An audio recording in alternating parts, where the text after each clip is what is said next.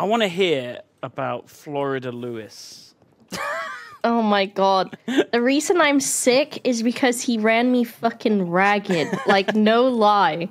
Like, as soon as I put Lewis on the airplane, I was like, oh, I'm sick. Oh no. Uh oh. Like, Wait, you said that like you were like there in the airport with him, like seeing him off.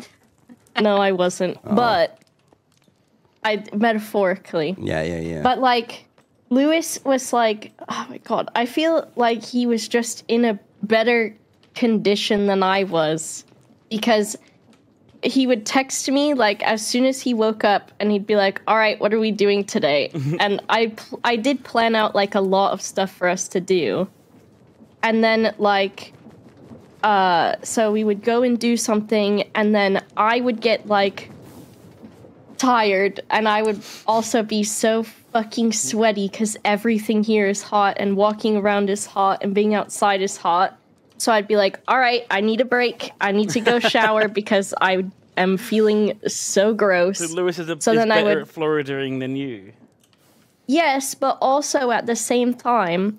So Lewis would like just run me ragged the whole day, and then about like six or seven p.m., he'd be like, "All right, I'm ready to go to bed."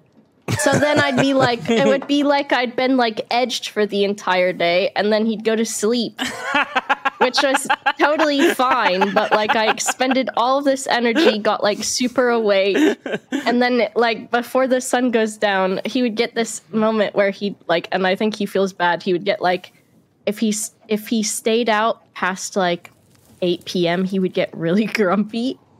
Oh my god. So Wow. but he was fine. I didn't think he was like bad. I just was like, oh, Lewis needs his rest now.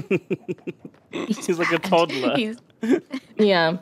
But it was like, and it was like having a toddler too. Oh, I need to be whitelisted, I think, oh, Duncan. right. Also, I can hear someone's game audio in my ears. Lewis sent me a text the other day, and he was saying something like, Thanks, Bubba, for organizing everything. Because I had to do something like every single day. I had it all planned out, all of these things, but it was like not overwhelming. And then there was like a break halfway through the day so that we could shower or take a nap or whatever.